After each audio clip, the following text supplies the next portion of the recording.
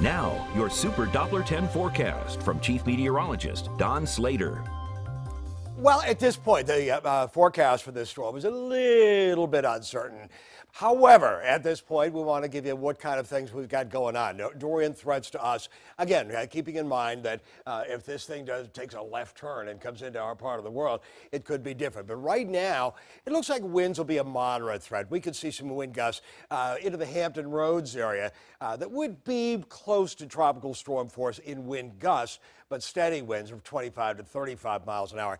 Tidal flooding, I think it'd be a limited threat. I think it'd be a minor to perhaps low end moderate. So I don't think it'd be anything real, real big. Rainwater flooding, that's perhaps a uh, moderate threat uh, because of the fact that we could see bands shift northward on into the region, which could contain uh, some very, very heavy rain. Tornado threat, no, not really. That relies to the east of the path of the storm. So if the storm uh, ends up being a little bit to the west of Hatteras, for example, uh, there could be a tornado tornado threat for Hatteras Island uh, coming on up. And we'll show you what's going on uh, with these forecast models. While you still have Monday, today, pick up, do this uh, pick up loose wind-blown stuff. Uh, it's stuff you got to do anyway. Things that could be blown away in a little bit stronger wind. Uh, now, if you, the storm does draw closer into the area, secure lawn furniture, that kind of thing. We always have a problem uh, with uh, with uh, trampolines, for example, and also patio umbrellas. Make sure those are down and stowed if you can. And as far as trampolines, maybe flip them over and store some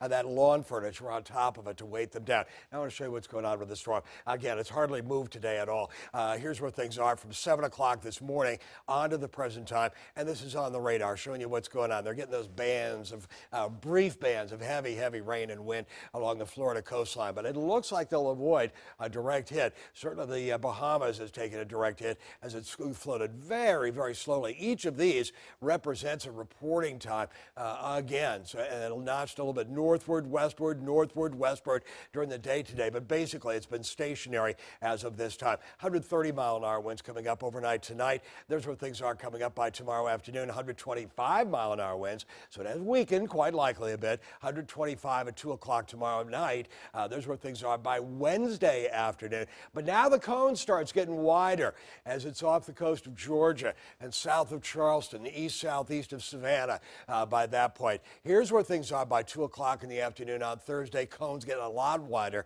by that point as it's almost due south of Wilmington. There's where it is. According to the center line of this cone, uh, it's over Hatteras, very, very close to Hatteras. But the thing about it is this cone is really, really wide. And it's moving on off uh, away by Friday afternoon at 8 o'clock. Now, if this happens, we could breathe a little bit of a sigh of relief, a big sigh of relief, because it's likely to really motor once it moves on off. Uh, 90 mile an hour winds coming up by Friday afternoon. And uh, again, moving on off, uh, on off toward the Canadian Maritime provinces. I want to show you two forecast models. Take them with a big grain of salt, and we'll also show you the confidence meter behind it. The red is a little bit messy, but it's a good way to show you two forecast models. The, the red one uh, is the D uh, Euro, and the yellow one is the GFS. The GFS has been really pretty good on this one. There's where things are tomorrow morning at 7. There's where things are coming up by Tuesday evening. Uh, take you on through time. On into Wednesday afternoon at 3. You can see the GFS uh, is a little bit faster. The yellow one is a little bit faster and has been a little bit more steady on this. There it is. It's close to Wilmington by Thursday evening. There's where it is by Friday, uh, excuse me, Thursday night, Friday morning, midnight, uh, close to about Morehead City. Moves offshore by Friday. And this is very, very close uh, to what's going on with the Hurricane Center forecast model. But again, low confidence once we get out uh, a little bit further in time. That's what's going on with those two forecast models, which are pretty close to what the Hurricane Center says here in the next seven days. We're really watching, especially for late Thursday and into early Friday. We'll have another update coming up uh, during the uh, 6 o'clock newscast.